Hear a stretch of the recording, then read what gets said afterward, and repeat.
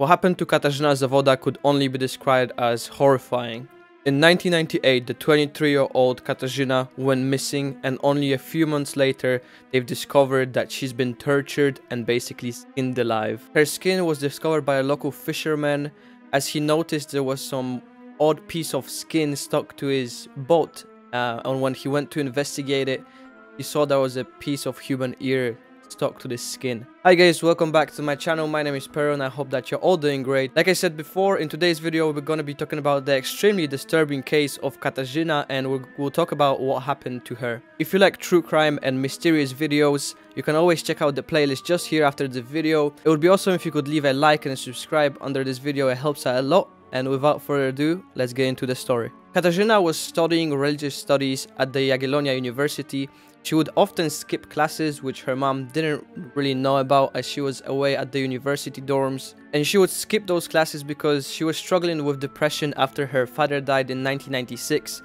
uh, and she attempted many times to take her own life. On the day of her disappearance on the 12th of November 1998, she was supposed to meet up with her mother to go for a mental health checkup um, in Nowa Huta, which is nearby where she used to live. However, she never turned up to that meeting. In the morning of that same day, Katarzyna decided to skip school as she wasn't feeling really good. She decided to stay at home and just listen to her favorite band, Grateful Dead. And a few minutes later, her friend Robert, who she met at a music expo, walked into her room and asked if she would like to go with him to um, his apartment on the outskirts of, of the town they used to live in. Katarzyna agreed and this was the last time that anyone saw her. That house that she went to is most likely where she was tortured and skinned. And now a few months go by, no one really knew where Katarzyna was. Her mother filed a missing case report. Everyone's looking for her.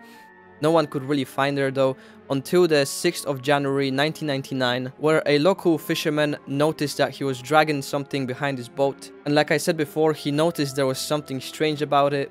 It was a pale rotting skin. He at first didn't really know what it was until he saw the ear that was attached to the skin. The fisherman immediately notified the police about his findings and the skin was sent out for testing. It came back positive, basically confirming that this was the skin of Katarzyna.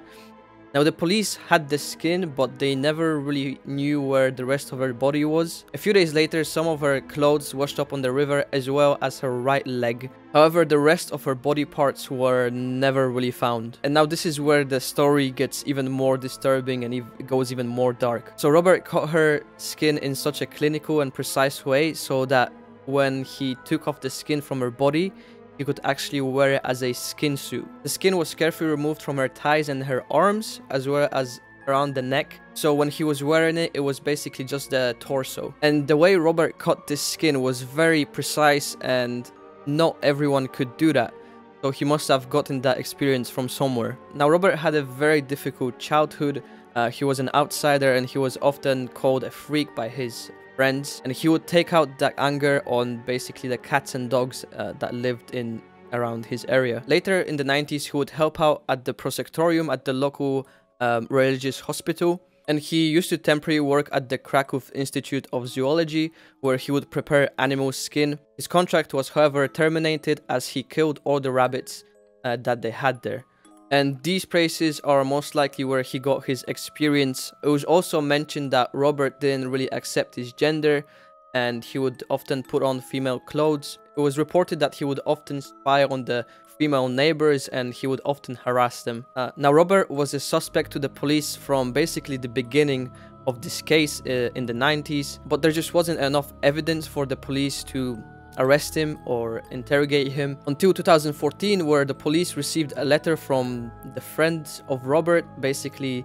uh, exposing him saying that it was him who did it. Now the case still remains as classified uh, so we don't really know what was said in that letter, but it was enough for the police to arrest Robert. When the police arrested him, they searched through his apartment and there was blood in the bathtub. I couldn't find any information saying what blood or who this blood uh, belong to. But if there's any updates, I will make sure to just comment them down below. And as of September 2019, Robert is yet to be released or go through the trial. The police asked for a closed trial. They're trying to keep this case very classified. And as far as we know, Robert is still being held by the police. I haven't seen any updates uh, if there was any sentence given to him.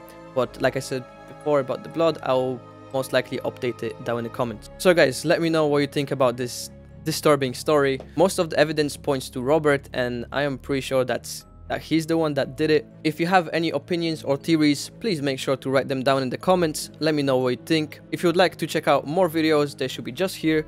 You can always subscribe and like the videos. And yeah, I'll see you in the next one.